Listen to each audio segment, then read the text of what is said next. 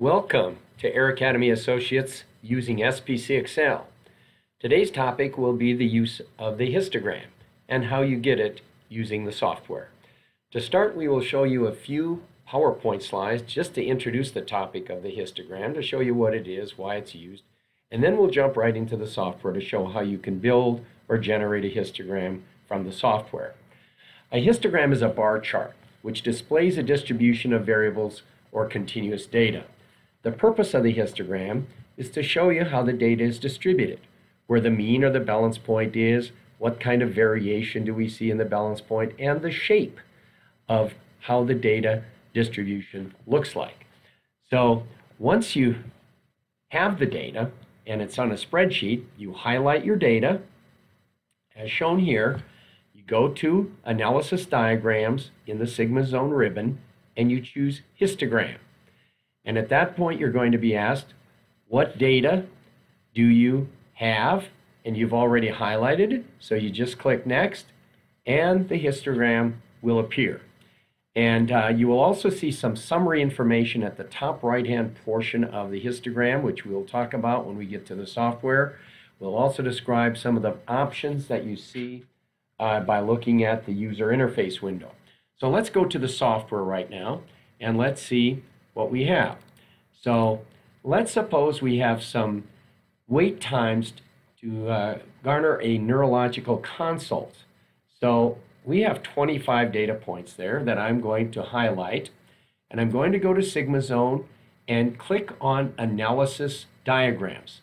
Analysis Diagrams is where we'll find the tool histogram.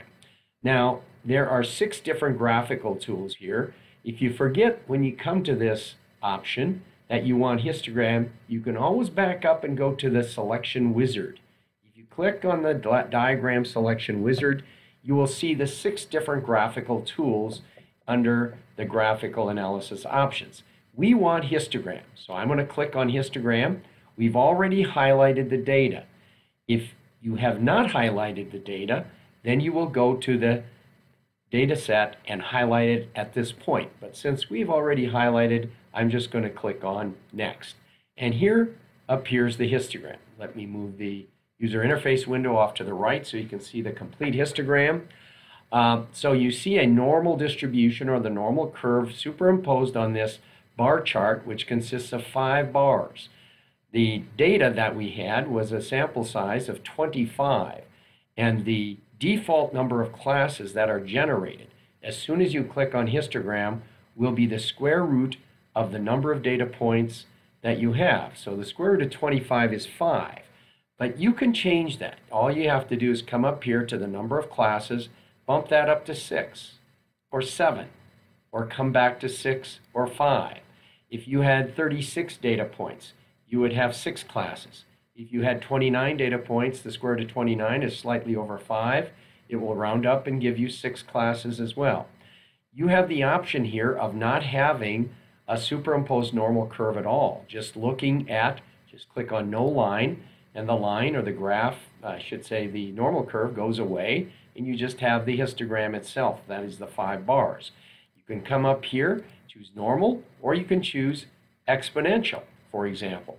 Well, this data does not fit an exponential distribution, and how can we tell? Well, first of all, you can see it.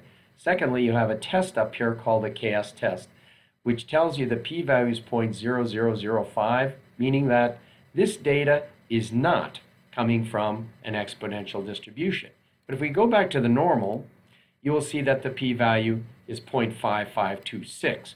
Whenever, whenever that p-value gets below 0.05, then you cannot assume the underlying distribution that we are showing here. In this case, the p-value is not less than 0.05.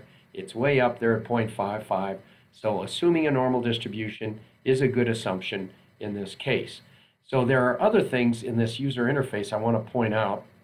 Besides changing the number of classes, suppose you didn't like the, the bar labels down here, like from 36 to 53.